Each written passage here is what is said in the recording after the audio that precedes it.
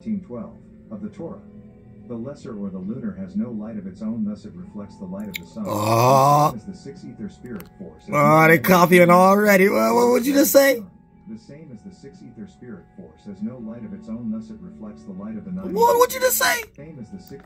The lesser or the lunar has no light of its own, thus it The lesser or the lunar. That sound like the moon. Wait a minute. It ain't what on its own? reflects the light of the sun. The same as the six ether. Oh, what, what light is it reflecting? No reflects the light of the sun. What the moon doing? The lesser or the lunar has no light of its own, thus it reflects the light of the sun. Hmm, that, that sound familiar, don't it, y'all? the moon just a reflection off the sun of nobody. Hmm, already copying. Already copying. Lord Jesus Christ, have mercy. We changed the world.